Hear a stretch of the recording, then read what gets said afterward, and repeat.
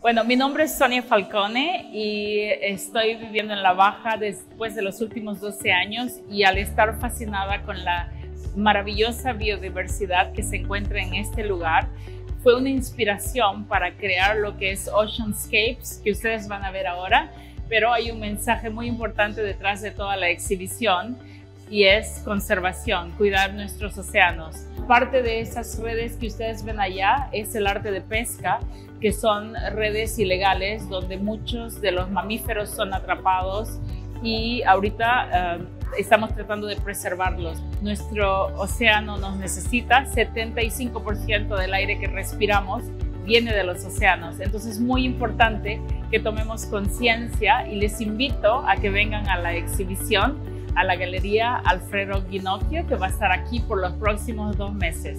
Que Dios les bendiga. Gracias.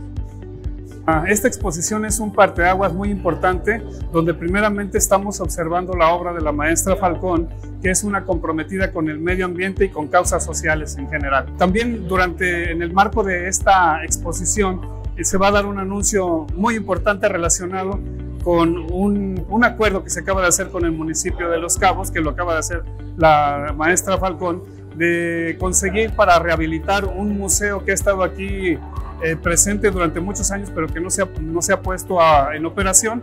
Y en combinación o en conjunto, en colaboración con el Museo de la Ballena y Ciencias del Mar, muy prontamente inauguraremos una, una exposición museográfica, pues que contribuya precisamente a dar los trabajos de difusión, educación, cultura y conservación del entorno marino que nos rodea.